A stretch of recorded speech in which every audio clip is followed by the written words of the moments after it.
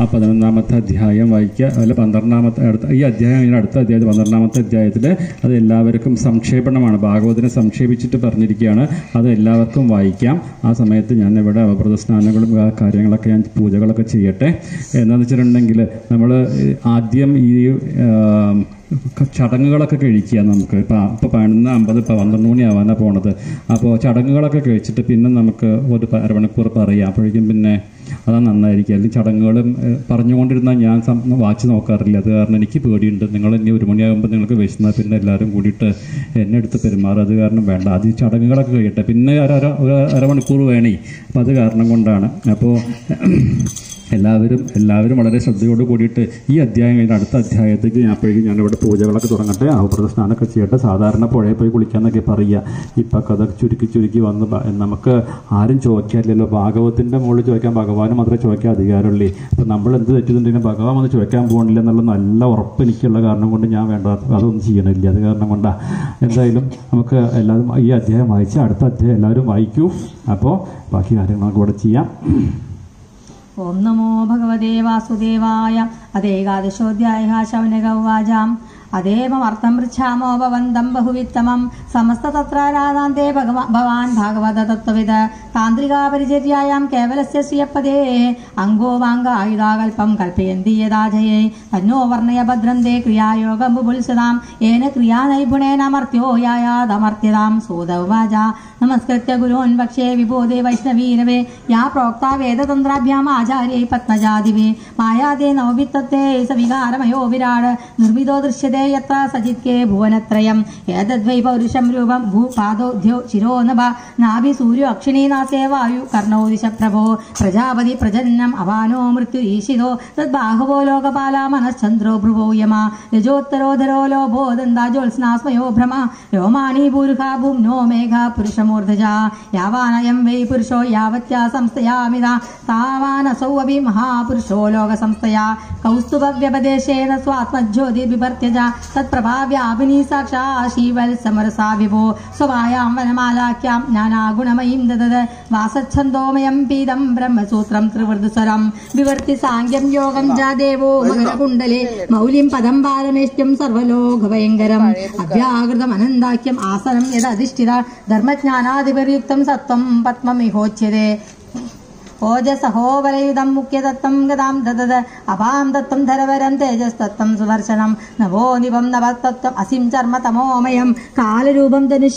तदा कर्ममयेषुदिम् इन्द्रियाणि शरानाहुराहूदीरस्य कर्ममयेषु तत्रा तन्मात्रान्नस्याभिव्यक्तिं मुद्रयार्थक्रियात्मदा मण्डलं देवयजलं दीक्षा संस्कार आत्मना परिचर्या भगवदात्मनो दुरिदक्षया भगवान् भगशब्धार्थं लीलाकमलमुद्वहन् धर्मं यशश्च ഭഗവാൻ ചാമരം വ്യജനേ ഭജത്. ആദപത്രം ത വൈകുണ്ഠം ദ്വിജ. ധാമാകുതോഭയം ത്രിവൃദ്വേദ സുവർണാഖ്യോ യജ്ഞം. വഹതി പൂരുഷം. അനപായിനി ഭഗവതി ശ്രീ സാക്ഷാദാത്മനോ ഹരേ. വിശ്വക്സേന തന്ത്രമൂർത്തി വിദിത പാർഷദാദിവ നന്ദാദിയോഷ്ടൗ ദാസ്താസ തേ അണിമാദ്യ ഹരേർഗുണാ. വാസുദേവ സംഘർഷണ പ്രദ്യുംന പുരുഷ സ്വയം. അനിരുദ്ധ ഇതി ഭ്രമൻ മൂർത്തിവ്യൂഹോ വിധീയതേ. സ വിശ്വസ്തൈജ സപ്രാത്ന തുരീയ ഇവൃത്തിഭി. അർത്ഥേന്ദ്രിയ ആശയജ്ഞാനേ ഭഗവാൻ പരിഭാവ്യതേ. അംഗോപാംഗ सर्वाङ्ग आयुधावल्पे भगवान् चतुष्टयं विभर्ति स्म चतुर्मूर्ति भगवान् हरिरीश्वरा। द्विज ऋषभस एष ब्रह्मयोनि स्वयं नृग् स्वमहिम परिपूर्णो मायाज स्वेतद सृजति हरति वादीतिखिया सृजति हरति वादीत्याखियानावृताक्षो विवृत इव निरुक्तस्तत्परेयात्मलिभ्या श्रीकृष्णकृष्णसखविष्णिर्षभावनिदृक् राजन्यवंशदहनानभवर्गवीर्या गोविन्द गोप गोपवनिद ्रज भृत्यगीतश्रवश्रवणमङ्गल पाहि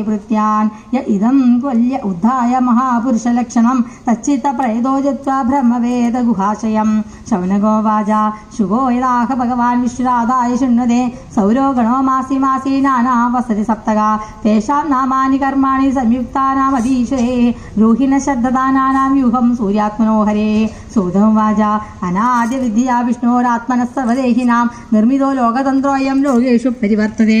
ഏക ഏവ ഹി ലോകാനാം സൂര്യ ആത്മാധികൃത് ഹരി. സർവവേദക്രിയാമൂലം ഋഷിപേർ ബഹുദോദിത. കാലോദേശക്രിയാകർത്താകരണം കാര്യമാഗമ. ദ്രവ്യം ഫലമിതി ബ്രഹ്മൻ നവതോക്തോ അജയാഹരി മധ്വാദിഷു ദ്വാദശസു ഭഗവാൻ കാലരൂപദൃഗ്. ലോകതന്ത്രായ ചരതി പൃഥക് ദ്വാദശിഭിർഗണേ ദാതാകൃതസ്ഥലീഹേതിർവാസുഗീരതകന്മുനെ പുലസ്ത്യസ്തുംബുരുതി മധുമാസം നേന്ദ്യമേ. അര്യമാ പുരഹോ അധൗജ പ്രഹേതി പുഞ്ചികസ്ഥലി. നാരദ കച്ചനീരശ്ചാ കച്ചനീരശ്ച നൈന്ധ്യേതേ സ്മ മാധവം. മിത്രോ അത്രി പൗരുഷയോ തക്ഷകോമേന ഗാഹ രഥസ്വര ഇതി ഖേദേ ശുക്രവാസം നൈന്ദ്യമി വസിഷ്ഠോ വരുണോരംബാ സഹജന്യസ്തദാഹു. ശുക്രചിത്രസ്വരേശ്ചേവ ശുചിമാസം നൈന്ദ്യമി ഇന്ദ്രോ വിശാവസുശ്രോത ഏതാപത്രസ്തദ അങ്കിരാ. പ്രംലോജ രാക്ഷസോ വര്യോ നഭോ മാസം നൈന്ദ്യമി വിവസ്വാനുഗ്രസേനശ്ച വ്യാഘ്ര ആസാരണോ ഭൃഗു. അനുംലോജ ശങ്കപാലോ നവസ്യാഖ്യം നേന്ദ്യമേ പൂഷാധനഞ്ജയോ വാദ സുഷേര സുരുചിസ്തത हृदाजी गौदवस्येति तपोमासं नयन्त्य मे। वधुर्वर्चावरध्वाज पर्जन्यसेनजित्तदा विश्व ऐरावतश्चैव तपस्याख्यं नयन्त्य അതാംശു കശ്യപത്താക്ഷ ഉദസേന തദുർവശി വിദ്യുശത്രുമഹാശങ്ക സഹോമാസം നൈന്ദമേ ഭഗസ്ഫുർജു അരിഷ്ടനേമീർ ഊർണ ആയുഷ്ട പഞ്ചമ കർക്കോടക പൂർവചിത്തി പുഷ്യമാസം നൈന്ദമേ ത്വഷ്ടാ ഋജീകതനയ കമ്പളശ്ചതിലോത്തമ ബ്രഹ്മാ ബ്രഹ്മാവേദോദ ശതജി ധൃതരാഷ്ട്രൈ ശംഭര വിഷ്ണു അശ്വതരോരംബ സൂര്യവർച്ചാസ സത്യജിത് വിശ്വാമിത്രോ മഹാഭേദ ഊർജമാസം നയന്ത്യമേ ഏതാ ഭഗവതോ വിഷ്ണുരാദിത്യസ്യ വിഭൂതയ സ്മരതാം സദ്യോ നൃണാം ഹരന്ത്യം ഹോദിനേ दिने द्वादशसविमासेषु देवोऽसो षड्भिरस्य वै चरन्न सम्मति सन्मतिं सामऋ സാമഋഗുർ സാമഋഗുർഭി തല്ലിംഗേ ഋഷയ സംസ്തുവന്ധ്യമം ഗന്ധർവാസ്തം പ്രകായന്തി നൃത്യന്തി അപ്സരസോഗ്രത ഉന്നഹ്യന്തി രഥം നാഗ ഗ്രാമണ്യോ രഥയോജക. ചോദയന്തി രഥം പൃഷ്ടേ നൈരഥാ ബലശാലിന. ബാലകില്യ സഹസ്രാണി ഷഷ്ടി ബ്രഹ്മർഷിയോമല. പുരതോഭിമുഖം യാന്തി സ്തുവന്തി സ്തുതിഭിർവിഭും ഏവം ഹിനാദിനിതിനോ ഭഗവാൻ ഹരീശ്വര. കൽപ്പേ കൽപ്പേ സുമാത്മാനം യൂഹ്യലോകാനവത്യജ ശ്രീകൃഷ്ണാർപ്പണമസ്തു ശ്രീമദ് ഭാഗവതേ മഹാപുരാണേ. പാർമഹം സംഹിതായ ദ്വാദശസ്കന്ധേ ആദിത്യവ്യൂഹ വിവരണ നാം ഏകാദശോധ്യായ षोडशोऽध्याय सर्वत्र गोविन्दनामसङ्कीर्तनं गोविन्द गोविन्द ॐ नमो भगवते वासुदेवायाम् अथ द्वादशोध्यायिनां सोदं वाजा नमो धर्माय महदे नमः कृष्णाय वेदसे। ब्राह्मणेभ्यो नमस्कृत्य धर्मान् वक्ष्ये सनाधनान् एतद् वा कदिदम् विप्राविष्णोच्चरिदमद्भुतं भवद्भिो पुरुषोदितम् പൃഷ്ടോ നരാണാം പുരുഷോഹിതം അത സങ്കീർത്തിത സാക്ഷാ സർവപാപഹരോ ഹരി ഭഗവാൻ സാത്വതാം പതി അത്ര ബ്രഹ്മപരം ഗുഹ്യം ജഗതപ്രഭവാപ്യം ജ്ഞാനന്ദസുവാഖ്യാനം പ്രോക്തം വിജ്ഞാന സംയുതം ഭക്തിയോഗ സമാഖ്യാതോ വൈരാഗ്യം ചതുരാശ്രയം പാരീക്ഷിതമുപാഖ്യാനം നാരദാഖ്യാനമേവ പ്രായോഗവേശോ രാജർഷേ വിപ്രശാപാത് പരീക്ഷിത. ശുഭസ്യ ബ്രഹ്മശവസ്യ സംവാദശ്ച പരീക്ഷിത യോഗധാരണയോക്രാന്തി സംവാദോ നാരദാദിയോ അവതാരാനുഗീതം ച സർഗ പ്രാധാന്യോഗ്രത വിദ്രോധവ സംവാദ ശക്രമൈത്രേയോസ്തഥ പുരാണ സംഹിതാ പ്രശ്നോ മഹാപുരുഷ സംസ്ഥിതി തദ പ്രാകൃതിക സർഗ സപ്തവൈരുദാശ്രയേ തദോ ബ്രഹ്മാണ്ഡ സംഭൂതേ വൈരാഗ പുരുഷോ യഥാ कालचर्पूलसुक्ष्मस्यागति सप्तसमुद्भवः भुव उद्धरणेन भोरे किरण्याक्षवतो यदा। ऊर्ध्वतिर्यसभासर्गो रुद्रसर्गस्तदैवजा अर्धनायीरस्यादाय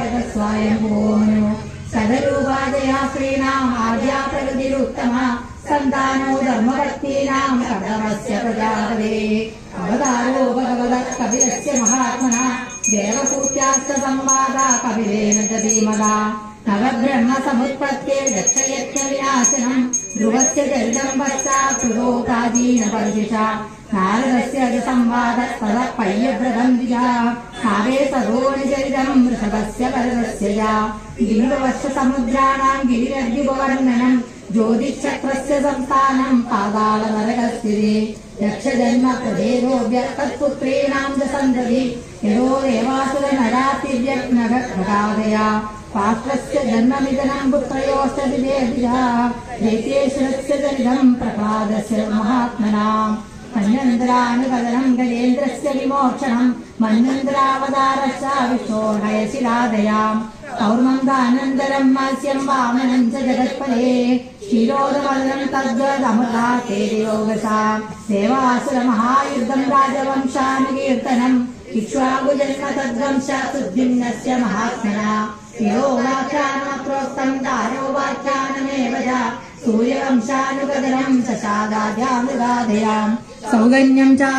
्यादे कगुस्तस्य च धीमता खड्वङ्गस्य च मान्दादो सौपरि सगरस्य च रामस्य कोसलेन्द्रस्य चरितम् किल्बिषावहम् निमेरङ्गपरित्यागो जनकाराम् च सम्भवान् രാമസ്യ ഭാർഗവേന്ദ്രസ്യ നക്ഷത്രകരണംഭുവ ഐലസ്യ സോമവംശസ്യ ഏയാദേ നഹുഷസ്യ ച. ദൗഷ്യന്തേ വരദസ്യാപി ശന്തനോസ്തൽസുതസ്യ ഏയാദേ ജ്യേഷ്ഠപുത്രസ്യ യദോർവംശോ നികീർത്തിത. എത്ര അവതീർണോ ഭഗവാൻ കൃഷ്ണ ഹ്യോ ജഗദീശ്വര. വസുദേവഗൃഹേ ജന്മ തതോ വൃദ്ധിശ്ച ഗോകുലേ. തസ്യ കർമാണ്യപാരാണി കീർത്തിതാന്യസുരദ്ദിഷ पूदनासु पयस्पानम् शकलोच्छाडनम् शिशो। ऋणावर्तस्य निष्पेष तदैव भगवत्सयो। धेनुकस्य सहभ्रादो प्रलम्बस्य च संक्षया गोपानाम् च परित्राणाम् दावाग्ने परिसर्पदा। दमनम् काळीयस्याहे महाहे नन्दमोक्षणम्। व्रतचर्यादु कन्यायाम् यत्र दुष्टोच्छितो व्रते प्रसादो यज्ञपत्नीभ्यो विप्राणाम् च अनुदावनम्।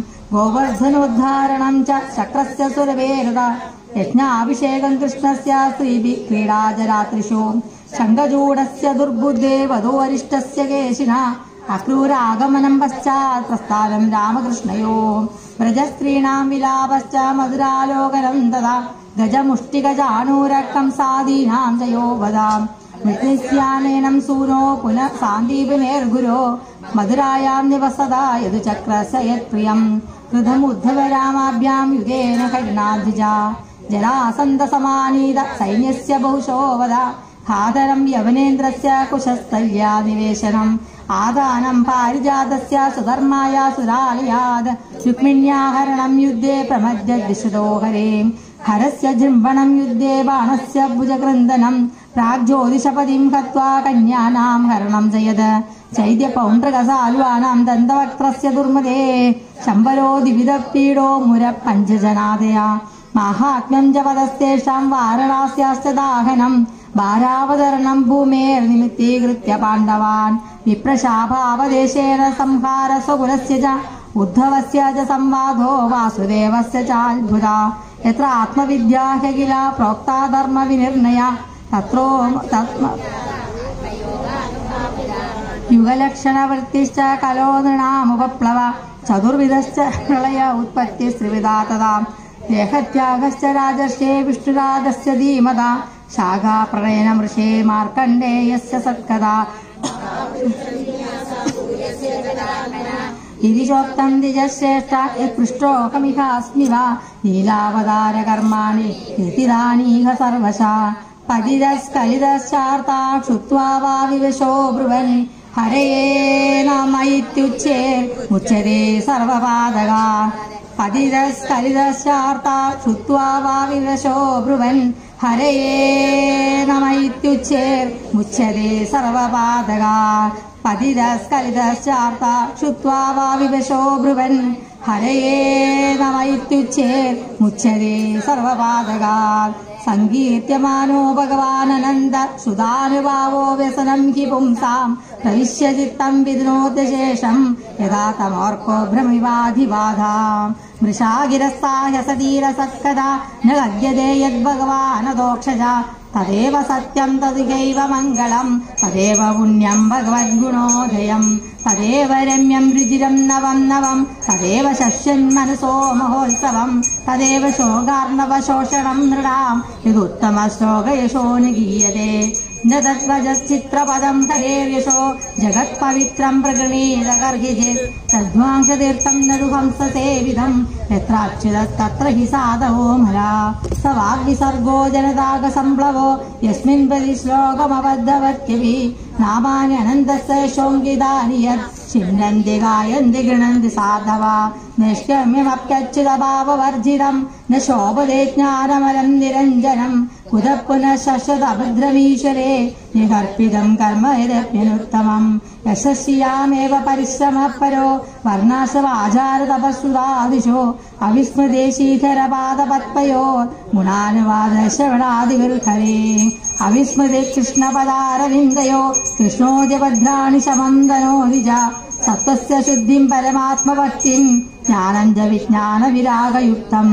यूयम् द्विजाग्रागा यस्य सात्मन्यखिलात्मभूतं नारायणम् देवमदेवमीशम् अजस्रभावापदाभिवेश्या अहम् च संस्मारित आत्मदत्तम् श्रुतम् पुरामि परिणशिवक्त्रात् प्रायोपवेशे नृपदे परीक्षित सदस्य ऋषीणा महदाम् च छिन्नताम् एतद् वा विप्रा कदिनियोर्मणा माहात्म्यं वासुदेवस्य सर्वाशुभविनाशरम् य एवं श्रावये नित्यं यामक्षणमनन्यदि श्रद्धावाण्योऽनुशुणीयात् पुनात्यात्मानमेव सा। द्वादश्यामेकादश्यां वा शनियाष्यवान् भवेत् पठन्यत् भवेद् प्रयत्न। ततो भवत्यपादवे पुष्करे मधुरायां च द्वारवत्याय आत्मान्।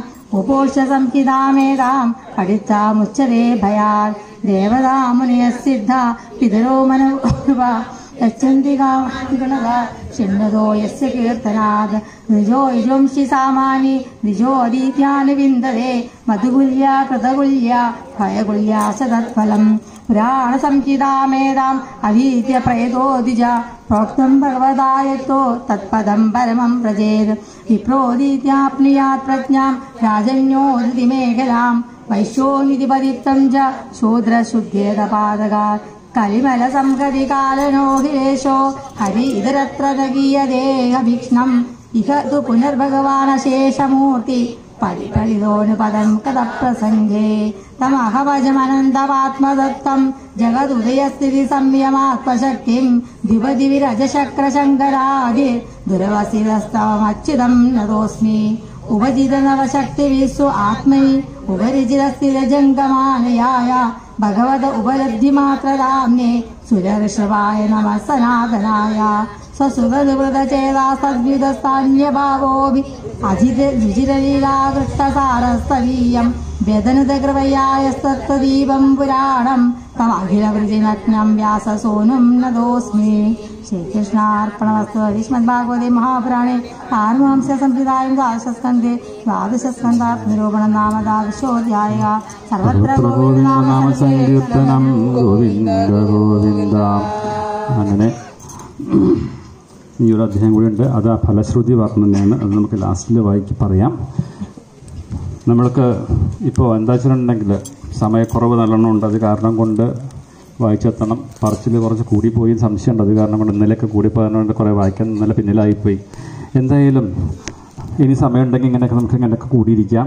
എന്തായാലും നമ്മൾ പ്രധാനമായിട്ടും നമുക്ക് വേണ്ടത് എന്താണെന്ന് വെച്ചിട്ടുണ്ടെങ്കിൽ ആ ഭഗവത് സായുജ്യം ആ മോക്ഷപ്രാപ്തി മോക്ഷപ്രാപ്തി എന്നുള്ളതല്ല നമ്മൾ ആഗ്രഹിക്കേണ്ടത്. ഭഗവാനിലേക്ക് ലയിക്കാനാണ് ആഗ്രഹിക്കേണ്ടത്. മോക്ഷം കിട്ടുക എന്ന് പറഞ്ഞിട്ടുണ്ടെന്നുണ്ടെങ്കിൽ അത് സ്വർഗത്ത് പോവാന്നുള്ള ആ ചിന്താഗതിയാണ് നമുക്ക് എല്ലാവർക്കും ഉള്ളത്. നമ്മളെന്താ എന്താ പറയുന്നത് സ്വർഗത്തിൽ പോകണം അവിടെ പോയി സുഖിക്കണം. അതൊക്കെ ഉണ്ടല്ലോ. ഈ ഋഗ്വേദത്തിലും യജുർവേദത്തിലും സാമവേദത്തിലൊക്കെ എങ്ങനെ വെച്ചിട്ടുണ്ടെങ്കിൽ ഈ ഋഗ്വേദത്തിൽ മുഴുവൻ ജ്ഞാനം കൊണ്ടാണ് പറയണത്. കർമ്മ ജ്ഞാനയോഗമാണ് ഋഗ്വേദത്തിൽ പറയണത്. അതുമാതിരി യജുർവേദത്തിൽ കർമ്മയോഗത്തിനെ പറ്റി പറയണു. അതുമാതിരി സാമ സാമവേദത്തിലെ ആനന്ദത്തിനെ പറ്റി പറയണു. അതായത് അഥർവവേദ അഥർവവേദത്തിലെ പരിരക്ഷ ഈ മൂന്ന് നാല് കാര്യങ്ങളാണ് പഠിക്കണത്. അപ്പോൾ അതിൽ അതിൽ നമ്മൾ ജ്ഞാനം നേടണം എന്നുണ്ടെന്നുണ്ടെങ്കിൽ അത് ഋഗ്വേദം നമ്മൾ പഠിക്കണം. അതുമാതിരി ആ കർമ്മ എങ്ങനെയാണ് കർമ്മങ്ങൾ ചെയ്യേണ്ടത് എന്നുള്ളത് അത് എന്താ പറയുക യജുർവേദത്തിൽ നിന്ന് പഠിക്കണം. സാമവേദത്തിൽ നിന്ന് നമ്മൾ പഠിക്കേണ്ടത് ഇത് രണ്ട് ജ്ഞാനം ജ്ഞാനം നേടി ജ്ഞാനം നേടിയിട്ട് കർമ്മം ചെയ്യുക. കർമ്മം ചെയ്താൽ അതിന്റെ ആനന്ദം അനുഭവിക്കുക. ആ ആനന്ദം അനുഭവിച്ചതിനെ പരിരക്ഷ ചെയ്യുക. ആ സീക്വൻസ് അങ്ങനെയാണ്. ഞാൻ ആദ്യം നമുക്ക് എന്താ വേണ്ടത്? ജ്ഞാനം നേടണം. ആ ജ്ഞാനം നേടിയിട്ട് വേണം നമ്മൾ ചെയ്യുന്ന ഓരോ കർമ്മങ്ങൾ. ഇപ്പോൾ ഒരു ഒരു സാധനം നമ്മൾക്ക് ഒരു ഒരു ഒരു അവിയൽ ഉണ്ടാക്കണം എന്നുണ്ടെന്നുണ്ടെങ്കിൽ അതിന് അവിയൽ ഉണ്ടാക്കേണ്ട ജ്ഞാനം നമ്മൾ നേടണം. ഇല്ലേ? അതിൽ കുറേ കഷ്ണങ്ങൾ വേണം. അത് അതൊക്കെ ഉണ്ടാക്കി അതിൽ ഇത്ര ഉപ്പ് ചേർക്കണം ഇത്ര മുളക് ചേർക്കണം എന്നുള്ളൊരു ആ ഒരു ജ്ഞാനം ഉണ്ടാക്കുക എളുപ്പത്തിന് വേണ്ടി പറയുന്നതാണ്. അപ്പോൾ ആ അത് ഒരു ജ്ഞാനം. ആ ജ്ഞാനം നമുക്ക് എവിടെ നിന്നുണ്ടാവണം ആ ആ ജ്ഞാനങ്ങളാണ് ആ ജ്ഞാനങ്ങളാണ് അവിടെ വെച്ചിരിക്കുന്നത് അവിടെ ഋഗ്വേദങ്ങളിൽ എങ്ങനെയാണോ ഭഗവാനെ ഭഗവ ഭഗവാനെ ആ, ഋഗ്വേദങ്ങളിൽ പറഞ്ഞിരിക്കുന്നത് ജ്ഞാനങ്ങളാണ് മുഴുക്കെ പറഞ്ഞിരിക്കുന്നത് അതായത് ഈ പറഞ്ഞ മാതിരി അവിയലിന്റെ കഷ്ണങ്ങളും ഇങ്ങനത്തെ സാധനങ്ങളൊക്കെ നിരത്തി വെച്ചിരിക്കുകയാണ്. അത് നിങ്ങൾക്ക് ഇഷ്ടമുള്ള കഷ്ണം എടുത്തോളൂ എന്ന് സെലക്ട് ചെയ്തിട്ടാണ്. ഉദാഹരണം പറയുമ്പോൾ നിങ്ങൾ തെറ്റിദ്ധരിക്കരുത്. കാരണം വെച്ചിട്ടുണ്ടെങ്കിൽ കുറേ സാധനങ്ങൾ ചേർന്നിട്ടുള്ളതാണ് വേദങ്ങളിലെ ഋഗ്വേദം. ആ ജ്ഞാനത്തിനെ സമ്പാദിക്കുക. ഇന്നത് വേണം. അവരുണ്ടാ അവിയലുണ്ടാക്കാൻ ഇന്നത് വേണം പറഞ്ഞ് ജ്ഞാനം സമ്പാദിച്ചു. യജുർവേദത്തിൽ പഠിക്കാൻ പഠിക്കുന്നത് അത് കർമ്മം. അത് എടു- എടുത്തതിന് ശേഷം എന്ത് കർമ്മം ചെയ്താലാണ് അത് അവിയലാവുക എന്നുള്ള കാര്യങ്ങളാണ് യജുർവേദത്തിൽ പഠിച്ചിരിക്കുന്നത്. അപ്പോൾ ജ്ഞാനം നേടി അവിയലുണ്ടാക്കി അതിന്റെ സാമവേദത്തിൽ കൂടെ അതിന്റെ ആനന്ദം അത് കഴിച്ചാൽ എങ്ങനെ ഉണ്ടാവും? അതാണ് സാമവേദത്തിൽ. ഇനി ആ ആനന്ദമുണ്ടായി. ആ ആനന്ദം അടുത്ത തലമുറയ്ക്ക് പറഞ്ഞു കൊടുക്കുന്നതിന് പരിരക്ഷയാണ് അഥർവവേദത്തിൽ പറയണത്. ആ വേദങ്ങളെ പറ്റിയിട്ട് പറയുമ്പോൾ കുറേ കാര്യങ്ങൾ പറയാനുണ്ട്. അപ്പോൾ ഈ ഇങ്ങനെ ജ്ഞാനം നേടിയിട്ട് കർമ്മം ചെയ്തിട്ട് ഈ ആനന്ദം അനുഭവിച്ചും കൊണ്ട് പരിരക്ഷ ചെയ്യണം. എന്താ പരിരക്ഷ ചെയ്യേണ്ടത്? ഈ നമ്മളുടെയൊക്കെ ഈ പുരുഷാർത്ഥങ്ങൾ ധർമ്മം അർത്ഥം കാമം മോക്ഷം ഈ നാല് കാര്യങ്ങളാണ്. ഈ നാല് കാര്യങ്ങളാണ് ഈ നാല് വേദങ്ങൾ. എല്ലാം നാല് നാല് നാല് എന്നുള്ളതാണ്. അപ്പോൾ ജ്ഞാനം പഠിച്ചിട്ട് ജ്ഞാനത്തിലൂടെ ധർമ്മം പഠിക്കണം ഇല്ലേ? പിന്നെ നല്ല കർമ്മം ചെയ്തിട്ട് അർത്ഥം സമ്പാദിക്കണം ഇല്ലേ? എന്നിട്ട് തന്റെ ആ ആനന്ദം ലഭിക്കുന്ന ആഗ്രഹങ്ങൾ നമ്മൾ നേടണം. ധർമ്മം അർത്ഥം കാമം. മോക്ഷം നമ്മൾ പരിരക്ഷ വേദത്തിൽ പരിരക്ഷ പറയും. ഭഗവാനിലേക്ക് പ്രാപിക്കണമെങ്കിൽ ഒരു മനുഷ്യന് പുരുഷാർത്ഥങ്ങൾ ഇതിലൂടെ വേണം ചെയ്യാൻ വേണ്ടിയിട്ട്.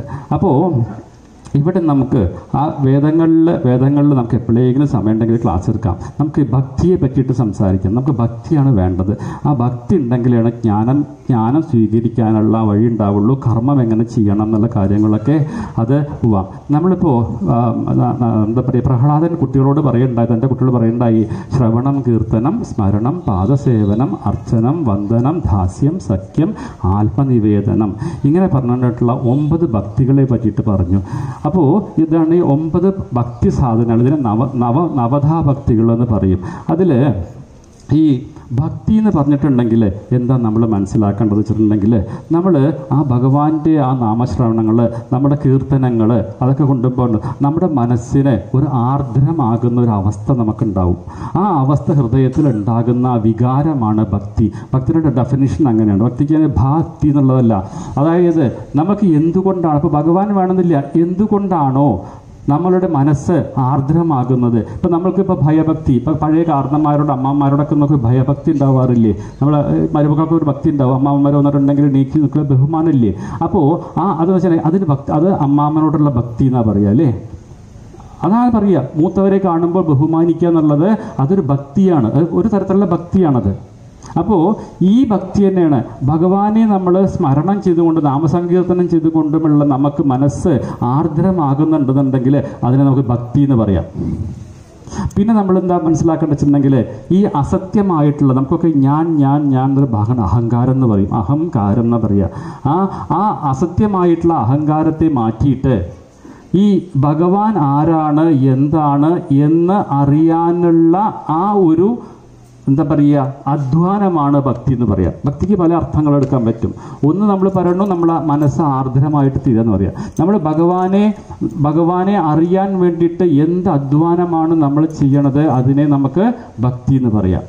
ഇപ്പം ഈ ശ്രവണം കൊണ്ട് അത് എങ്ങനെ വെച്ചിട്ടുണ്ടെങ്കിൽ അത് ആരൊക്കെ കിട്ടിയേ അത് കീർത്തനം കൊണ്ടൊക്കെ നമ്മളുടെ ഭാഗവതത്തിൽ ഓരോരുത്തരെ ഓരോരുത്തരെ പറയുന്നുണ്ട്.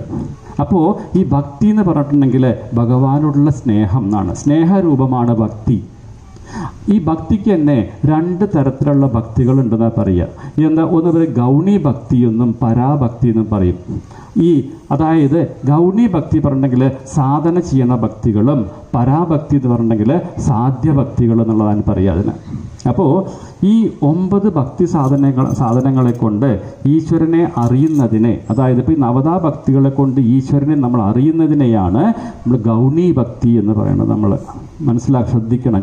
നമ്മളിപ്പോൾ ജ്ഞാനത്തിലേക്കും ഏകാദശം ഗുരുക്കന്മാരൊക്കെ നമുക്ക് വിടുക. നമുക്ക് ബേസ് ഒരു മിനിമം ലെവലിൽ നമുക്ക് തുടങ്ങുക. അങ്ങനെ അതുമാതിരി ഇതിനെ ഗൗണി ഭക്തി പറയും. ഈ ഈശ്വരന്റെ യഥാർത്ഥ രൂപം എന്താണെന്നുള്ളത് ഒരു ഗുരുമുഖത്തിൽ നിന്ന് ഗ്രഹിച്ച് ഉണ്ടാകുന്ന ഈശ്വരപ്രേമം. അതിനെ പരാഭക്തി എന്ന് പറയും.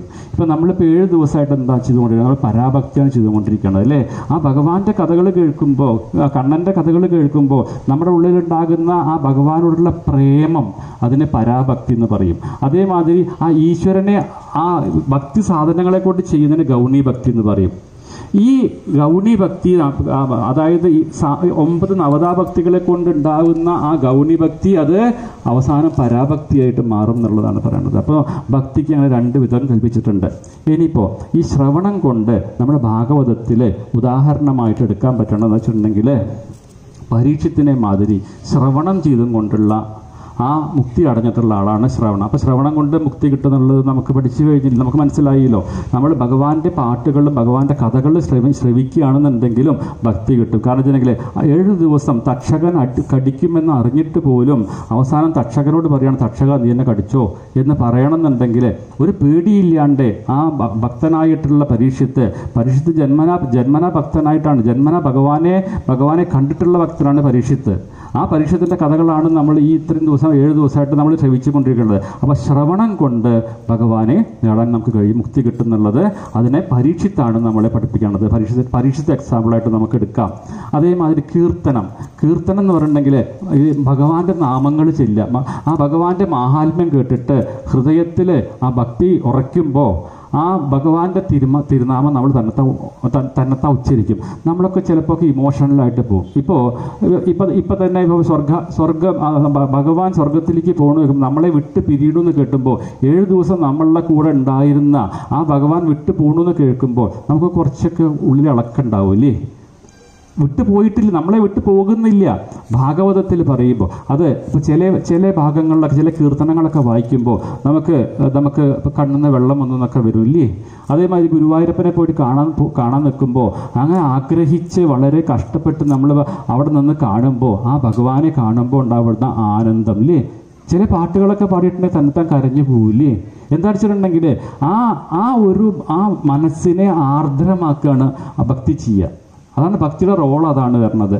അങ്ങനെ ഈ കൃതയുഗത്തിലെ നാല് യുഗങ്ങളിലെ കൃതയുഗത്തിലെ ഈശ്വരനെ ധ്യാനിക്കണം എന്നാണ് പറയുന്നത് എന്നാലേ മോക്ഷം കിട്ടുള്ളൂ. ത്രേതായുഗത്തിലെ യാഗം ചെയ്തിട്ടുണ്ടെങ്കിൽ മോക്ഷം കിട്ടും എന്നുള്ളതാണ് പറയുന്നത് ദ്വാപര യുഗത്തിലെ പൂജ പൂജകൾ വേണം അതാണ് ദ്വാപര എല്ലാവരും പൂജിച്ചിട്ടുണ്ടായിരുന്നത്. എന്നാലോ കലിയുഗത്തിലെ ഉത്തമ ശ്ലോക കീർത്തനം. കേശവ കീർത്തന എന്ന് പറയണം. കേശവന്റെ കീർത്തനം കൊണ്ട് മാത്രമാണ് എന്തുണ്ടാവുള്ളൂ? ആ ശ്രീശുഖ അതാണ്. ആ കേശവന്റെ കീർത്തനം ചെയ്ത ശ്രീശുഖ മഹർഷിയാണ് കീർത്തനത്തിലൂടെ മോക്ഷം നേടിയിട്ടുള്ള ആൾ. ഇനി അടുത്തതാണ് സ്മരണം. സ്മരണം എന്ന് പറഞ്ഞിട്ടുണ്ടെങ്കിൽ നമുക്ക് ഉദാഹരണം കാണിക്കാനായിട്ട് പ്രഹ്ലാദ ഭക്തി നമ്മൾക്ക് സ്മരണം. ഭഗവാനെ എപ്പോഴും ഭഗവാന്റെ ലീലകളെ എപ്പോഴും ഹൃദയത്തിൽ ഓർത്തും കൊണ്ടുള്ളതാണ് അതിനാണ് സ്മരണം എന്ന് പറയുക. ആ ഭക്തിയാണ് സ്മരണ ഭക്തി എന്ന് പറയുക. അപ്പോൾ ഈ ഗോപികൾ എന്ത് കർമ്മങ്ങൾ ചെയ്യുമ്പോഴും ഈ കണ്ണാ കണ്ണാ കണ്ണ കൃഷ്ണന് വേണ്ടി ചെയ്യണതാണ്. അതൊക്കെ അതൊക്കെ ഈ സ്മരിച്ചുകൊണ്ട് ചെയ്യണ ഭക്തികളാണ്. അവൾക്ക് അവർക്കൊക്കെ ഭഗവാൻ മാത്രമേ മനസ്സിലുള്ളൂ. അതേമാതിരി ഈ പ്രഹ്ലാദനും ഭഗവാനെ എപ്പോഴും മനസ്സിൽ കണ്ടുകൊണ്ട് നടക്കുന്ന ഒരു കുട്ടിയായിട്ട് നമ്മൾ ചിത്രീകരിച്ചു. പ്രഹ്ലാദന്റെ കഥ പറയുമ്പോൾ ചിത്രീകരിച്ചു. അപ്പോൾ ഈ നാവിന്റെ മുകളിൽ നാമ നാമങ്ങളും മനസ്സിൽ വേറെ ചിന്തകളൊക്കെ ഉണ്ട് ആൾക്കാർക്ക് ഉണ്ടല്ലോ അതൊന്നും ഭക്തി ഉണ്ടാവില്ല. നമ്മളിരുന്ന് ഇങ്ങനെ നാമം ചെല്ലും. മനസ്സ് കിടക്കുന്നത് വീട്ടിലായിരിക്കും ഉണ്ടാവുക. കുട്ടികളുടെ അടുത്തൊക്കെയൊക്കെ ഉണ്ടാവുക. ഭഗവാന്റെ പാദസേവനം ചെയ്യാന്നാണ് പറയുന്നത് പാദസേവനം പറഞ്ഞിട്ടുണ്ടെങ്കിൽ ഇവിടെ ഭാഗവത്തിൽ ലക്ഷ്മി ദേവിയെ മാതിരി പാദസേവനം ചെയ്യാൻ പറ്റിയ വേറെ ആരും ഇല്ല എന്നുള്ളതാണ്. എപ്പോഴും ഭഗവാന്റെ പാദങ്ങളിൽ ഇങ്ങനെ ഒഴിഞ്ഞുകൊണ്ടിരിക്കുന്ന ആളാണ് ലക്ഷ്മി ദേവി. അപ്പോൾ നമ്മളൊക്കെ ലക്ഷ്മി ദേവിയെ മാതിരി ആവണം എന്നുള്ളതാണ്. അങ്ങനെ ഭഗവാനെ അത് ആവണമെന്നുണ്ടെങ്കിൽ എന്താണ്? ആ ഭഗവാന്റെ മഹാത്മ്യം എപ്പോഴും ശ്രവിച്ചുകൊണ്ടിരിക്കണം എന്നാണ് പറയണത്. അപ്പോൾ ഈശ്വരനും ആ ഭക്തനും ദ്വൈതഭാവം ഉള്ളപ്പോൾ പാദസേവനം ചെയ്യാൻ പറ്റില്ല. ഞാൻ ഈശ്വരനൊന്ന് ഞാനൊന്ന് എന്നുള്ള രീതിയിൽ ദ്വൈതഭാവം. നമുക്ക് നമുക്ക് സംഭവിക്കുന്ന ഏറ്റവും വലിയ തെറ്റെന്ന് വെച്ചിട്ടുണ്ടെങ്കിൽ ഈശ്വരനെ നമ്മൾ രണ്ടായിട്ട് കാണുന്നു. ഈശ്വരനും ഞാനും ഒന്നാണ്. അഹം ബ്രഹ്മാസ്മി അസോഹം എന്നുള്ള ചിന്തയിൽ നമ്മൾ കൊണ്ടുവരാനാണ് നമ്മൾ നമ്മൾ ഭാഗവതത്തിനെ കാണേണ്ടത്. ആ ഈശ്വരനും ഞാനും ഒന്നായി കഴിഞ്ഞിട്ടുണ്ടെന്നുണ്ടെങ്കിൽ പിന്നെ അവിടെ വേറെ ഇല്ല രണ്ടെന്നുള്ള ഭാവമില്ല. ഈ ദ്വന്ദ്ഭാവം ദ്വൈതഭാവങ്ങൾ മാറ്റിയിട്ട് അത് അത് കാണണം. അത് അത് നമ്മൾ ചെയ്യണം. ആ അങ്ങനെയുള്ള കർമ്മങ്ങൾ നമ്മൾ ചെയ്യണം. ഭഗവാനിലേക്ക് അർപ്പിക്കുമ്പോൾ ആ ഭഗവാൻ എന്റെ മനസ്സിന്റെ ഉള്ളിൽ തന്നെ ഇരിക്കുന്നുണ്ട് എന്നുള്ള ബോധത്തോട് കൂടിയിട്ട് പാദസേവനം ചെയ്തുകൊണ്ടിരിക്കുന്ന ആളാണ് ലക്ഷ്മി ദേവി. ആ ലക്ഷ്മി ദേവിയാണ് പാദസേവനത്തിന്. അടുത്തത് നമ്മൾ അർച്ചനം. ഭാഗവതത്തിൽ നമ്മൾ കാണ കാണേണ്ടായി പൃഥു മഹാരാജാവ് എത്ര യാഗങ്ങൾ ചെയ്തു? ആ നൂ തൊണ്ണൂറ്റൊമ്പത് യാഗങ്ങൾ ചെയ്ത് നൂറാമത്തെ യാഗങ്ങൾ ഭഗവാൻ പറഞ്ഞു ഇനി ചെയ്യേണ്ട ആവശ്യമില്ല പൃഥു. എന്തിനാ വെറുതെ ഇന്ദ്രനെ ബുദ്ധിമുട്ടിക്കണത്? ഇന്ദ്രന്റെ പദവി നേടാൻ വേണ്ടിയിട്ട് ഭാഗണ്ഡന്മാരെ പറഞ്ഞ ആൾക്കാരെ സൃഷ്ടിച്ചു വിടുന്നത് മാത്രമേ ഉള്ളൂ. എന്ന് നമ്മൾ കേട്ടില്ലേ? അതിൽ ഈ അർച്ചന ചെയ്യുമ്പോൾ നമ്മൾ എന്താ മനസ്സിലാക്കേണ്ടതെന്നുണ്ടെങ്കിൽ മൂന്ന് മൂന്ന് കാരണങ്ങളാണ് അർച്ചനയിലുള്ളത്. ഒന്ന് അർച്ച്യൻ എന്ന് പറയും അർച്ചകൻ എന്ന് പറയും അതുമാതിരി അർച്ചന എന്ന് പറയും. ഈ മൂന്ന് ഈ മൂന്ന് പേര് വേണം ഒരു അർച്ചന ചെയ്യണമെന്നുണ്ടെങ്കിൽ ഒരു പൂജ ചെയ്യണമെന്നുണ്ടെങ്കിൽ മൂന്ന് കാര്യങ്ങൾ അത്യാവശ്യമാണ്. ഒന്ന് അർച്ച്യൻ വേണം അതുമാതിരി ഈ അർച്ചകന് ആരെ അർച്ചിക്കുന്നുവോ അവൻ അർച്ചൻ. ഈശ്വരനെ ഈശ്വരനെ നമ്മൾ അർച്ച അർച്ചന ചെയ്യുകയാണെന്നുണ്ടെങ്കിൽ അത് ഈ ഒരു മൂന്ന് പേര് വേണമെന്നാണ് പറയണത്. അതായത് അർച്ചൻ എന്ന് പറഞ്ഞാൽ ഈശ്വരൻ അർച്ചകൻ എന്ന് പറഞ്ഞാൽ നമ്മൾ നമ്മളുടെ ജീവൻ ജീവാത്മാവ് ഭഗവാനെ അർച്ചിക്കുകയാണ്. ഇനി എന്തൊക്കെയാണ്? അല്ല അർഘ്യം അർച്ചയം എന്ത് എന്തിനെ കൊണ്ടാണ് അർച്ചിക്കണത്? അത് അർച്ച്യം എന്നാ പറയുക അല്ലേ? ആ അപ്പോൾ ഈ ഇപ്പം പൂജകൾ പൂക്കൾ അതുമാതിരി ഓരോ നിവേദ്യങ്ങൾ ഇതൊക്കെ അർച്ച്യങ്ങളാണ് ഈ മൂന്ന് കാരണത്തിലെ കൊണ്ടാണ് ഇത് ഇത് ചെയ്യണത്. ഈ അത് രാമ രാമായണത്തിലെ രാമൻ കിഷ്കിന്ത കിഷ്കിന്ത കണ്ടത്തിൽ ആ നാലാം സർഗത്തിൽ ആ പൂജാവിധികളൊക്കെ ലക്ഷ്മണൻ ഉപദേശിച്ചു കൊടുക്കുന്നുണ്ട്. എങ്ങനെ പൂജിക്കണം എന്നുള്ളതൊക്കെ രാമായണത്തിൽ പറഞ്ഞു കൊടുക്കുന്നുണ്ട്. അതൊക്കെ എപ്പോഴെങ്കിലും വീട്ടിൽ പോകുമ്പോൾ അതൊന്ന് കിഷ്കിന്ത കണ്ടത്തിൽ ഇങ്ങനെയാണ് എന്നെ പൂജിക്കേണ്ടതെന്ന് പറയുന്നുണ്ട്. അങ്ങനെ അങ്ങനെ പൂജിക്കണം എന്നാണ് പറയുന്നത് അതാണ് അർച്ചന അർച്ചനത്തിന്റെ ഭഗവാനെ അർച്ചിക്കേണ്ട രീതികൾ അങ്ങനെയാണ്. അത് വെച്ചിട്ടുണ്ടെങ്കിൽ ആ ദേഹശുദ്ധി വരുത്തിയിട്ട് ശുചിത്വമുള്ളിടത്ത് മാത്രമേ ഭഗവാൻ ഉണ്ടാവുള്ളൂ. ആ ദേഹശുചി വരുത്തിയിട്ട് ഭക്തന്മാർ എന്ത് കൊടുത്താലും ഭഗവാൻ സ്വീകരിക്കും എന്നുള്ളത് ആര് പറയുന്നുണ്ട്? ഭഗവാൻ പറയുന്നുണ്ട്. പിന്നെ അടുത്തത് വന്ദനം. വന്ദനം എന്ന് പറഞ്ഞിട്ടുണ്ടെങ്കിൽ നമിക്കുക നമസ്കരിക്കുക. നമസ്കരിക്കാൻ ഭാഗവതത്തിൽ നമ്മളെ പഠിപ്പിക്കുന്ന ആളാണ് അക്രൂരൻ. അക്രൂരൻ എപ്പോൾ നോക്കിയാലും ഭഗവാനെ നമസ്കരിക്കലാണ്. ഇല്ലേ? ആ എന്താ നിലത്ത് കടന്ന് ഉരുളുക മണ്ണ് കടന്നിട്ട് ഇതാക്കുക ഭഗവാനെ നമസ്കരിക്കലാണ് അക്രൂരന്റെ പടി പറഞ്ഞത്. ഇനി ഈ ഈ വന്ദനം തന്നെ ഉണ്ടല്ലോ. അഞ്ച് തരത്തിലുള്ള വന്ദനങ്ങളുണ്ട് നമുക്ക് ചെയ്യാം. നമ്മളിപ്പോൾ നീണ്ടു നിവർന്ന് ഇപ്പം നീണ്ടു നിവർന്ന് ക- കടക്കേണ്ട ആവശ്യമൊന്നുമില്ല. അപ്പം അഞ്ച് തരത്തിൽ വന്ദനങ്ങൾ ചെയ്യുക എന്നുള്ളത് ഭാഗവതം നമ്മളെ പഠിപ്പിക്കുന്നുണ്ട്. ചിലവർക്ക് ചിലവർക്ക് ഷർട്ട് മുണ്ടൊക്കെ ഇട്ടിട്ടുണ്ടാവും വെളുത്ത ഷർട്ടൊക്കെ ഇട്ടിട്ടുണ്ടാവും. അതുകൊണ്ട് നീണ്ടെന്ന് നീണ്ടു നിവർന്ന് നമസ്കരിക്കാൻ പറ്റുന്നൊന്നും വരില്ല. അവർക്കൊക്കെ നമ്മളതൊന്ന് ഒന്ന് അത് പഠിച്ചാൽ മതി. ഈ അഷ്ടാംഗ വന്ദനം എന്ന് പറഞ്ഞ അഷ്ടാംഗ വന്ദനം പറഞ്ഞിട്ടൊരു സാധനമുണ്ട്. കാരണം വെച്ചിട്ടുണ്ടെങ്കിൽ എട്ട് അംഗങ്ങളെ കൊണ്ട് നീണ്ടു നിവർന്ന് നമസ്കരിക്കുകയാണെന്ന് പറയുക. ഇല്ലേ? അതാണ് ഹജ്ജിന്റെ നീണ്ടു നിവർന്ന കയ്യും കാലും ദേഹവും ശരീരവും ശരീരത്തിന്റെ എട്ട് അംഗങ്ങളും നീണ്ടു നിവർന്ന് നമസ്കരിക്കുന്ന അഷ്ടാംഗ വന്ദനം എന്ന് പറയും. നീണ്ടു നിവർന്ന് നമസ്കരിക്കുക പിന്നെ പഞ്ചാംഗ വർണ പഞ്ചാംഗ വർണ വന്ദനം എന്ന് പറഞ്ഞിട്ടുണ്ടെങ്കിൽ സ്ത്രീകളൊക്കെ നമസ്കരിക്കില്ല അവർ നീണ്ടു നിവർന്ന് നമസ്കരിക്കുക. അവർ മുട്ടുകുത്തി അവർ അഞ്ച് അംഗങ്ങളാണ് ഭൂമിയിൽ സ്പർശിക്കുക. അതിനെയാണ് പഞ്ചാംഗ വർണം പറയുക. പുരുഷന്മാരെ നീണ്ടു നിവർന്ന് നമസ്കരിക്കുമ്പോൾ ശരീരത്തിന്റെ ആ എട്ട് അംഗങ്ങൾ അതിൽ അതിൽ ഭൂമിയിൽ സ്പർശിക്കണം എന്നുള്ളതാണ്. പറയുന്നത് അതാണ് അഷ്ടാംഗ വന്ദനം എന്ന് പറയുക. പിന്നെ കായിക നമസ്കാരം എന്ന് പറഞ്ഞിട്ടുള്ള അപ്പോൾ ഒരു ഒരു ജീവിയെ കാണുമ്പോൾ അപ്പം നമ്മളുടെ മുന്നിലിരിക്കുന്ന നിങ്ങളെല്ലാം ഈശ്വര സ്വരൂപമായിട്ട് നമ്മൾ കാണുകയാണെന്നുണ്ടെങ്കിൽ നിങ്ങളൊക്കെ ഈശ്വരനാണ്. അപ്പം നിങ്ങളും എന്നെ എന്തുമാതിരി കാണും? ഈശ്വരനായിട്ട് കാണും ഇല്ലേ? അപ്പോൾ ഭഗവാൻ കാണാൻ പറ്റുന്നില്ല. എന്തുകൊണ്ട് കാണാൻ പറ്റുന്നില്ല? മായ എന്നെ മറച്ചു വെച്ചിരിക്കണു മായയുടെ ആവരണ ശക്തി കൊണ്ട് എന്നെ മറച്ചു വെച്ചിരിക്കണു ആ ആ നിങ്ങ- നിങ്ങളെല്ലാം കാണിക്കുന്നത് മായയുടെ വിക്ഷേപ ശക്തിയാണ് പഞ്ച പഞ്ചഭൂത അതായത് പഞ്ചേന്ദ്രിയങ്ങളും കർമ്മേന്ദ്രിയങ്ങളെ കൊണ്ടൊക്കെ കാണിക്കുന്നത് എല്ലാം മായയാണ്. ഇതൊക്കെ നമ്മൾ കുറേ പഠിച്ചിട്ടുള്ളതാണ്. അറിഞ്ഞാൽ മാത്രം പോലെ അതൊക്കെ പ്രാവർത്തികമായിട്ട് കൊണ്ടുവരണം. അപ്പോൾ കായിക നമസ്കാരം എന്ന് പറയുമ്പോൾ നമ്മളിപ്പോൾ എന്താ വെച്ചിട്ടുണ്ടെങ്കിൽ കൈ കൊണ്ട് ഷെയ്ക്കാന്റെ കൊടുക്കുക അതുമാതിരി കെട്ടിപ്പിടിക്കുക സ്നേഹം പ്രകടിപ്പിക്കില്ലേ? അതിനൊക്കെ കായികമായിട്ട് നമസ്കാരം എന്താണെന്ന് പറയാം പറയാം അതിനെ പറ്റിയിട്ട്. വാചികമായിട്ട് നമസ്കരിക്കുക എന്നാ പറയുക വെച്ചിട്ടുണ്ടെങ്കിൽ നല്ല വാക്ക് പറയുക. ഒരാളെ കാണുമ്പോൾ നല്ല വാക്ക് പറഞ്ഞിട്ട് നമ്മളിപ്പോൾ നമ്മൾ ഹലോ ഹൗ ആർ യു എന്നൊക്കെ പറയണില്ലേ? ആ സ്നേഹം കൊണ്ടുള്ള വാക്കുകൾ പറയുമ്പോൾ അങ്ങനെ അതിനെ വാചിക നമസ്കാരം എന്ന് പറയാം. പിന്നെ ഒന്ന് പറയാ മാനസികമായിട്ടുള്ള വന്ദനം ആവാം എന്ന് പറഞ്ഞിട്ടുണ്ട് ഭാഗവത്തിൽ പറഞ്ഞിട്ടുണ്ട്. എന്താ വെച്ചാൽ മനസ്സുകൊണ്ട് ഈശ്വരനെ മനസ്സിൽ സങ്കല്പിച്ചും കൊണ്ട് വന്നിക്കുക ഒന്നും ചെയ്യാൻ പറ്റില്ല. ബാക്കി നാലെണ്ണം ചെയ്യാൻ പറ്റില്ലെങ്കിലും മനസ്സിന്റെ ഉള്ളിൽ എപ്പോഴും ഈശ്വരനെ കണ്ടുകൊണ്ടിരിക്കുക. അതാണ് ആ മാനസികമായിട്ടുള്ള. അപ്പോൾ വന്ദനത്തിൽ അക്രൂരനാണ് നമ്മൾക്ക് ഉദാഹരണമായിട്ട് ഭാഗവതം പഠിപ്പിച്ചു തരുന്നത്. പിന്നെ ദാസ്യഭാവം. അതുണ്ടെങ്കിൽ ദാസന്റെ ഭാവത്തിൽ ആ ഭഗവാന്റെ അടിമയാകുക എന്നാ പറയുക. എന്ന് വെച്ചിട്ടുണ്ടെങ്കിൽ അതിൽ ഏറ്റവും വലിയ ദാസനാണ് ഹനുമാൻ. ഹനുമാനാണ് ഏറ്റവും വലിയ ദാസൻ. ആ ഭഗ ആ ശ്രീരാമചന്ദ്രനെ വിട്ടിട്ട് നിൽക്കില്ല അങ്ങനത്തെ ആ ദാസ്യഭാവത്തെ എപ്പോഴും അതാ പറഞ്ഞത് ഭഗവാൻ ഹനുമാൻ മുഖത്തേക്ക് പോലും നോക്കില്ല. എപ്പോഴും ഭഗവാന്റെ പാദപത്മങ്ങളിൽ മാത്രമേ ശ്രദ്ധിക്കുള്ളൂ. ഭഗവാന്റെ മുഖത്ത് പോലും നോക്കാണ്ട് ഇങ്ങനെ നിൽക്കുള്ളൂ. എന്നാൽ അത് നമ്മൾ പറഞ്ഞില്ലേ ഹനുമാൻ ഇപ്പോൾ നമ്മൾ മാറി പിളർന്ന ഹനുമാൻ ഉള്ളിൽ കണ്ടു എന്നൊക്കെ പറയുമ്പോൾ അതൊക്കെ കഥയ്ക്ക് വേണ്ടിയിട്ട് ഒരു ഭംഗിക്ക് വേണ്ടിയുള്ളത് അത് എന്താ വെച്ചിട്ടുണ്ടെങ്കിൽ ഭഗവാന്റെ ഭക്തി ഹനുമാന്റെ ഭക്തി അങ്ങനെയാണ് എന്ന് കാണിക്കാനാണ് ഈ മാറ് പറന്ന് കാണിക്കുക അല്ല അല്ല ആരെങ്കിലും അവനവന്റെ മാറ് പറന്ന് കാണിച്ച് എനിക്ക് ഇതിലുള്ള കൃഷ്ണ എന്ന് കാണിക്കുന്നില്ലല്ലോ. അതൊക്കെ കുറച്ച് കഥയ്ക്കുന്നതിന് വേണ്ടി ഇട്ടുന്ന മാത്രമേ ഉള്ളൂ. അപ്പോൾ ദാസ്യഭക്തിയിൽ ഹനുമാനാണ് ഉള്ളത്. അതുമാതിരി സഖ്യഭക് സഖ്യം അതായത് ഫ്രണ്ട് എന്നുള്ള നിലയ്ക്കുള്ള ആ ഭക്തിയിൽ അർജുനനാണ് ഏറ്റവും അതായത് കൃഷ്ണനെ ഒരു സഖാവിന്റെ ഒരു സഖാവിന്റെ ഭാവത്തിലാണ് ആ ഭക്തിയാണ്. അതിനാണ് പറയുക സഖ്യഭക്തി എന്ന് പറയും. അപ്പോൾ ഈ ഈശ്വരൻ തന്റെ സഖാവാണ് സഖിയാണ് അല്ലെങ്കിൽ ഫ്രണ്ടാണ് അങ്ങനത്തെ അതായത് കുചേലൻ ഉദ്ധവൻ അർജുനൻ ഇവരൊക്കെ അതിന് എക്സാമ്പിളായിട്ട് നമുക്ക് ഭാഗവതം നമുക്ക് കാണിച്ചു തന്നത് പറയാനുള്ള കാരണം ഭക്തിയിൽ നമ്മൾ എന്തെല്ലാം കണ്ടു ഭാഗവതത്തിൽ എന്നുള്ളത് പറയാനാണ്. നമുക്ക് അതിനുള്ള സമയം ഉണ്ടായിട്ടുള്ളൂ കേട്ടോ പിന്നെ അടുത്തതാണ് ആത്മനിവേദനം എന്ന് പറഞ്ഞു. എന്താ വെച്ചിട്ടുണ്ടെങ്കിൽ ആത്മനിവേദനം ചെയ്ത ആരാ നമ്മുടെ ഭാഗവതത്തിലുള്ളത് അറിയോ? ആരാ ആത്മനിവേദനം ചെയ്യുന്നത്? അങ്ങോട്ട് മുഴുക്കേണ്ട സമർപ്പിച്ചിട്ടുള്ളത് മഹാബലി മാത്രമേ ഉള്ളൂ. മഹാബലി നമുക്ക് കാണിച്ചു തന്നത് ആ ഭഗവാനിലേക്ക് അങ്ങോട്ട് ആത്മാവിനെയാണ് നിവേദിച്ചു തന്റെ തലയോട് വെച്ചു കൊടുത്തില്ലേ? ആ മുഴുക്കേണ്ട കൊടുത്തു ആ ഭഗവാന്റെ പാതാരവിന്ദങ്ങളെ വ- പാതാരവിന്ദങ്ങളിലേക്ക് തന്നെ തന്നെയാണ് സമർപ്പിക്കുക കാണിച്ചു തരാണ് ആ ഒരു യഥാർത്ഥ യഥാർത്ഥ ഭക്തന്റെ ലക്ഷണമാണ് ആ മഹാബലി വാമനന് വാമനന് തന്നെ സമർപ്പിക്കുക എന്നുണ്ടായതാണ്. അതാണ് പറയണത്. ഈ ആ,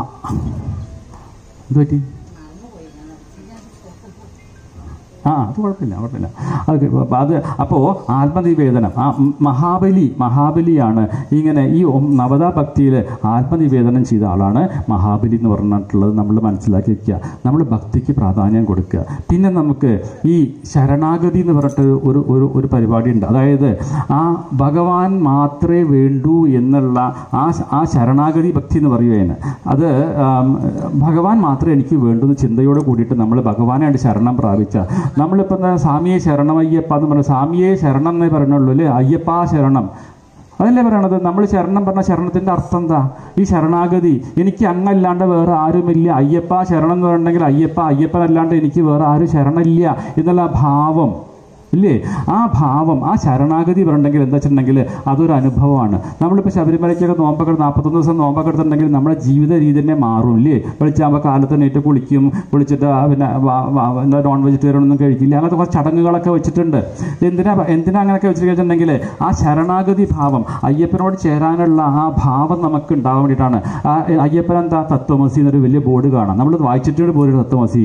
ആ അർത്ഥം മനസ്സിലാക്കണില്ല അല്ലേ? തത്വമസി പറ ബോർഡൊക്കെ ചോദിച്ചിട്ടുണ്ട് അത് വായിച്ചുകൊണ്ടോട് പോരേ ഉള്ളൂ അപ്പോൾ ഇതെന്താ വെച്ചിട്ടുണ്ടെങ്കിൽ ഈ ശരണാഗതി എന്ന് പറഞ്ഞിട്ടുണ്ടെങ്കിൽ അനുഭവത്തിൽ കൂടെ മനസ്സിലാക്കാൻ പറ്റുള്ളൂ നമുക്ക്. അല്ലാണ്ട് ശരണാഗതി നമുക്ക് ഇന്ന് നമ്മൾ നമസ്കരിച്ചാണ് ഭാഗവതം പഠിപ്പിച്ചിരുന്നത് അതുണ്ടായിട്ടുണ്ടെങ്കിൽ അഹങ്കാരം കുറയും. അങ്ങനല്ലേ? നമ്മളിപ്പോൾ വലിയ ആളാന്ന് ഞെളിഞ്ഞു നിൽക്കുമ്പോൾ നമ്മളുടെ അഹങ്കാരം ഉണ്ടാവും. എന്നാൽ നമ്മൾ വേറൊരാളുടെ കാലിന്റെ കൂടുതൽ നമസ്കരിച്ച് നോക്കി നോക്കൂ നമ്മളുടെ അഹങ്കാരം താണു. ഇല്ലേ? അപ്പോൾ ആ അത് പറഞ്ഞത് അഹങ്കാരം കുറയ്ക്കണമെന്നുണ്ടെങ്കിൽ നമ്മൾ എന്ത് ചെയ്യണം? ആരുടെയെങ്കിലും മുമ്പിൽ പോയിട്ട് വീഴണം.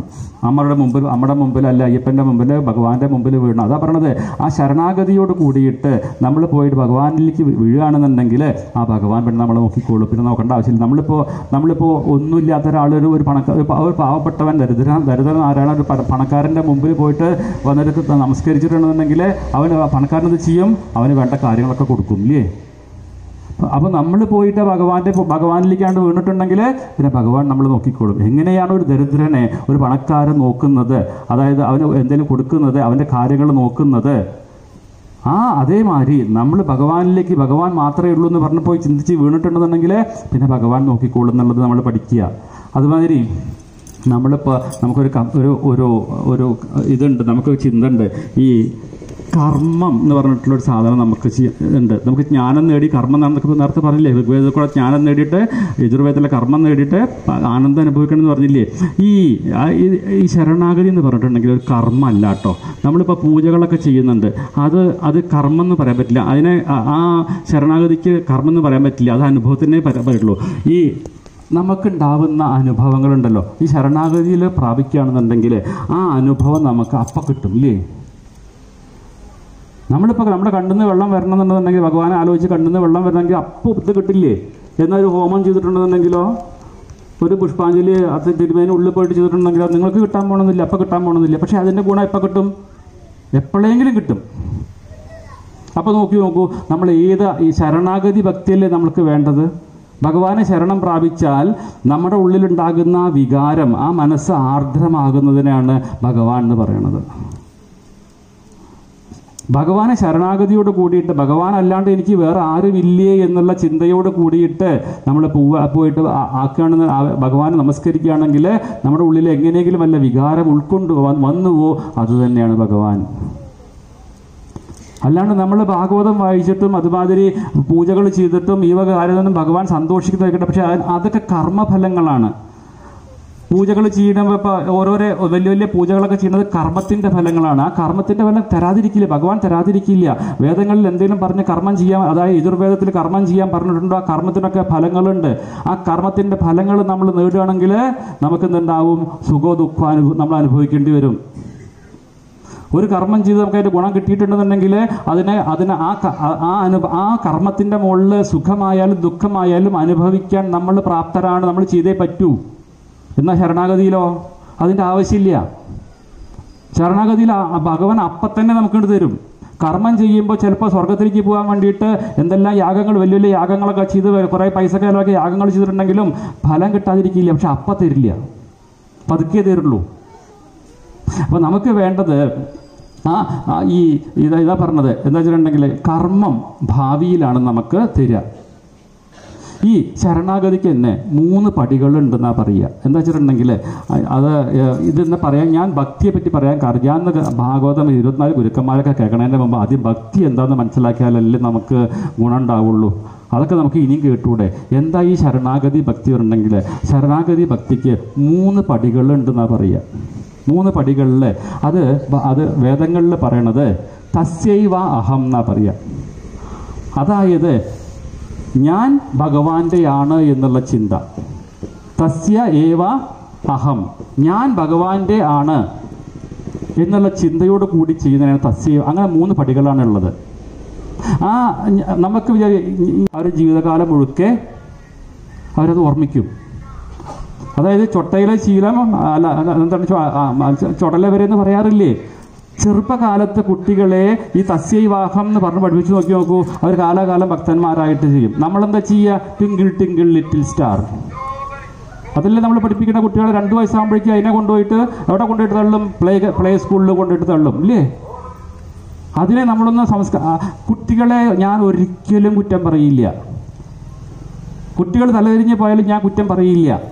കുട്ടികൾ വളരെ സ്മാർട്ടാണ് അവർ അറ്റ് എ ടൈം ഒരു സമയത്ത് അവർ പല കാര്യങ്ങൾ ചെയ്യുന്നുണ്ടായിരിക്കും. ഒരു വഴിക്ക് ഇവിടെ ഭക്ഷണം കഴിക്കുന്നുണ്ടായിരിക്കും. ഒരു വഴിക്ക് മൊബൈൽ നോണ്ടിട്ടുണ്ടായിരിക്കും ഒരു വഴിക്ക് ക്രിക്കറ്റിന്റെ സ്കോർ പറഞ്ഞിട്ടുണ്ടെങ്കിൽ അവർ പറയും.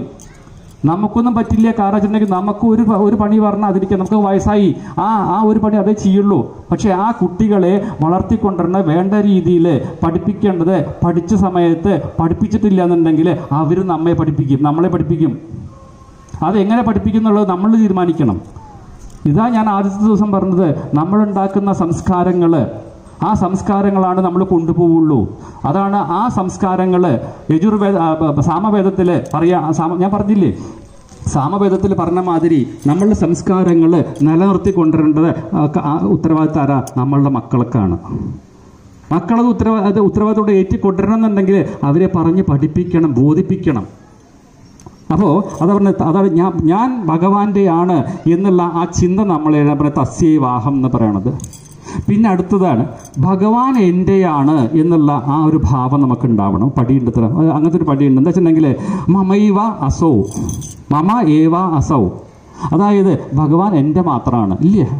ഗോപികൾ ഗോപികമാർക്ക് അങ്ങനെ ഉണ്ടല്ലോ ഭഗവാൻ അവർക്ക് എത്ര ഗോപിമാരുണ്ടെങ്കിൽ എല്ലാവരും പറയണത് ഭഗവാൻ എന്റെയാണ് എന്റെയാണ് ചിന്തല്ലേ ഉള്ളൂ. അതാണ് ശരണാഗതിയുടെ വേറൊരു പടി എന്നാ പറയണത്. പിന്നെന്താണ്? സ ഏവാഹം എന്ന് പറഞ്ഞിട്ടുണ്ടെങ്കിൽ അതായത് ഞാനും ഭഗവാനും ഒന്നാണ് എന്നുള്ള ഭാവം. അതാണ് സ ഏവാഹം. സ ഏവ അഹം. ഞാനും ഭഗവാനും ഒന്നാണ്. ഇതിൽ എവിടെ വെച്ചിട്ടുണ്ടെങ്കിൽ ഈ തസ്യവാഹത്തിലും മമ എന്താണ്? മമൈ വാസുവിലും ഈ രണ്ടിലും ഭേദഭാവനുണ്ട് അവിടെ ഞാനും ഉണ്ട് ഭഗവാനും ഉണ്ട്. രണ്ടു പേരുണ്ട് അല്ലേ? അപ്പൊ അത് അത് അത് അത് നല്ല ഇതായിട്ട് ശരണാഗതിയായിട്ട് മാറില്ല. അതുമാതിരി ഭഗവാൻ എന്റെയാണ് പറയുമ്പോൾ ഭഗവാനും ഉണ്ട് ഞാനും ഉണ്ട് അല്ലേ? ആലോചിക്കൂ. അതായത് ഞാൻ ഭഗവാന്റെ ആകുമ്പോൾ ഞാനും ഉണ്ട് ഭഗവാൻ വേറൊരാളുണ്ട്. ഭഗവാൻ എന്റെയാണ് പറഞ്ഞാൽ ഭഗവാനും ഉണ്ട് ഞാനും ഉണ്ട് ഇതിൽ ദ്വൈതഭാവമുണ്ട്. ഭഗവാൻ പറയണ ഭഗവാൻ ഒന്ന് മാത്രമേ ഉള്ളൂ. ആ നമ്മളൊക്കെ അവിടുന്ന് മായയുടെ ശക്തി കൊണ്ട് സെപ്പറേറ്റ് ആയിട്ട് പോന്നിട്ടുള്ളതാണ്. ഭഗവാൻ എന്താ പറഞ്ഞിട്ടുണ്ടെങ്കിൽ ആദ്യം ദ്വൈതഭാവം മാറ്റൂ ഞാൻ വേറെയാണ് ചിന്ത മാറ്റൂ എന്നാ ഭഗവാൻ പറഞ്ഞ് പഠിപ്പിച്ചു തരുന്നത് അപ്പോൾ മൂന്നിൽ എന്താ വെച്ചിട്ടുണ്ടെങ്കിൽ എന്താണ്? ഞാനും ഭഗവാനും ഒന്നാണ്. അതിനർത്ഥം എന്താ? ഭഗവാൻ വേറെ ഇല്ല ഞാൻ വേറെ ഇല്ല. ആ ഭാവത്തിൽ അതിനെയാണ് പറയുക അദ്വൈത ഭാവം എന്ന് പറയുക. തന്നെയാണ് ഈ ബ്രഹ്മം എന്ന് പറഞ്ഞിട്ടുള്ള സാധനം. ഞാനും ഭഗവാനും ഒന്നാണ് വേറെയല്ല. അതാ ആ അതാണ് സ ഏവാഹം. എല്ലാറ്റിലും ഞാനുണ്ട് എന്നുള്ള ആ ഭാവത്തിനെയാണ്